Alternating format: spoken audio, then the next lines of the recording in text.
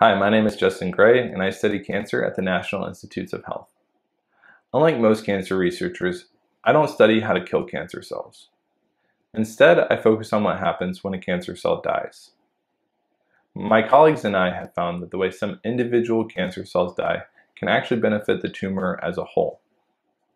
Normally, when a cell dies, it neatly packages up its contents and sends them to surrounding cells, kind of like recycling.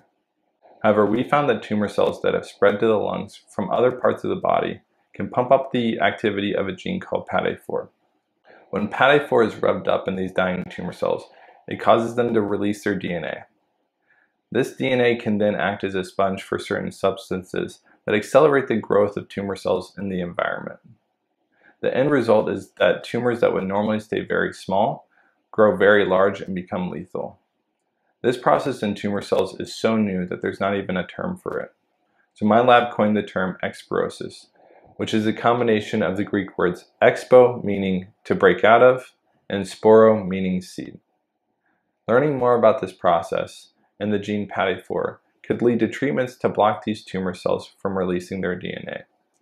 This would then prevent the tumors from spreading to other parts of the body.